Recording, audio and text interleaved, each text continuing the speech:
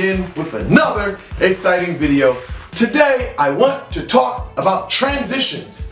When I'm talking about transitions, I'm not talking about break dancing. You know, when you got transitional moves and you want to move into another move, you finish doing your windmills and then you're doing your air flares. And no, we're not talking about that today. We're going to talk about transitions and spiritual work. See, they say two heads are better than one.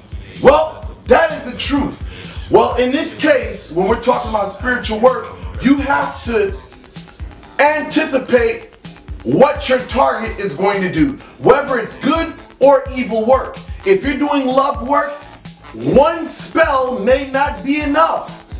You have to think in advance. Well, let's just say this person goes out with another female, right? Well, you know, you want to make sure you want to minimize the chances of that actually happening. Now you say, what if the person, you know, comes back, but there is no, let's just say, there is no commitment.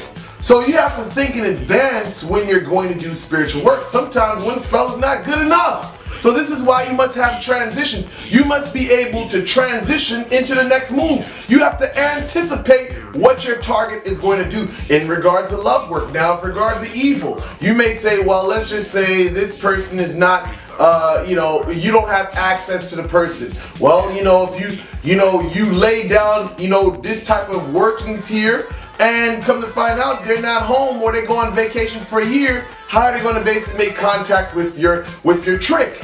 You know, so now you say, well, let's just say they're overseas, but you have a photo of them. You have to think in advance. Well, let's just say, well, the you know the the trick can't hit them, so well, let's just say I'm going to do some distant work, some telepathic work you know, to catch my target. So basically, when we're talking about spiritual work, sometimes one spell is not good enough because the first spell may not hit the target or basically through other means. Let's just say, you know, the person's distracted.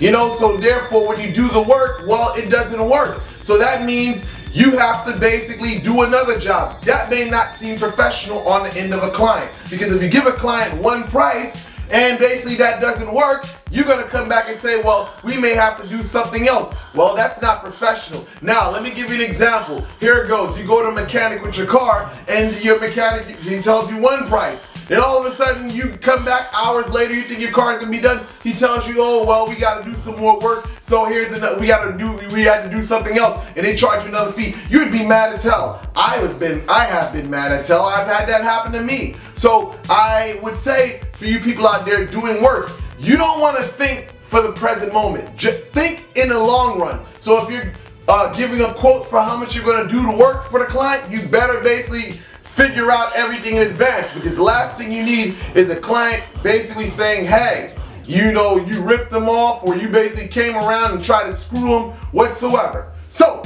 with that said, thank you guys for watching. Like, share, and subscribe, and I'm out.